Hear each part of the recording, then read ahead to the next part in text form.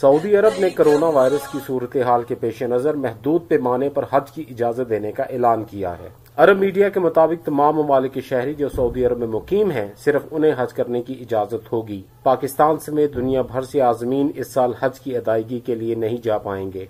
Saudi हुकूमत ने मार्च में तमाम ममालिक को हज और उम्र से मुतल इकदाम न उठाने की दरख्वास्त की थी। इससे कबल सऊदी अरब के वज़ीर बरए हज और उम्र डॉक्टर मोहम्मद सालेह कह चुके हैं कि कोरोना वायरस के सबब गैर यकीनी की सूरत हाल है, लिहाजा आजमीन हज फ़िलहाल हज की मनसूबाबंदी से गुरेज करें।